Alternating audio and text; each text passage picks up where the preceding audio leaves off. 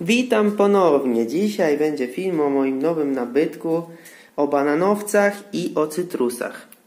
Zacznijmy od najbardziej popularnej cytryny w Polsce, czyli tak zwanej cytryny skierniewickiej, Citrus ponderosa. Piękne sadzonki, już kwitnące.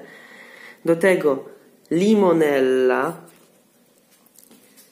rosnąca w naszych warunkach klimatycznych, przy, przy takich łagodnych zimach jak teraz, można ją śmiało uprawiać w gruncie pomarańcza trójlistkowa. Tutaj Citrus junujuzo. Tutaj cytryna rangapur. Bananowiec Musa acuminata Dwarf Cavendish.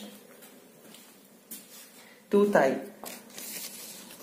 cytron Citrus maxima. Bardzo duże owoce, do 2 kg nawet.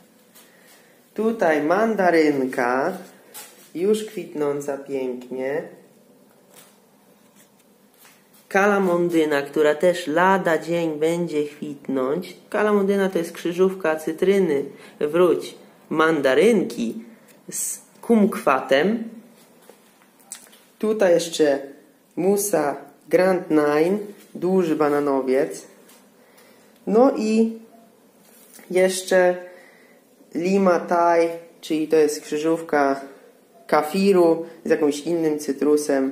Zobaczymy, jak to będzie rosło dalej. No i oczywiście te nowe cytryny, które tu widzicie, tak, te nowe cytryny, które tu widzicie, będę sadził w donice, takie jak tutaj już przesadziłem, 5-litrowe, duże, żeby mogły spokojnie rosnąć przez rok, może nawet dwa lata w tych donicach i dać mi piękne plony. Jak widzicie, cytrusy i banany zostały już przesadzone do nowych doniczek, dużych, dorodnych, 5-litrowych. Korzenie bardzo były już gęste w tych małych doniczkach, także na pewno dobrze im to zrobi. Miejmy nadzieję, że to będzie jedyna w tym roku przesadzanie tych cytrusów. No i następne czeka nas dopiero za rok. Także zobaczcie pięknie się prezentujące cytryny, mandarynki, kalamondyna i inne cytrusy. Do tego jeszcze dwa bananowce nowe. Łącznie mam już trzy.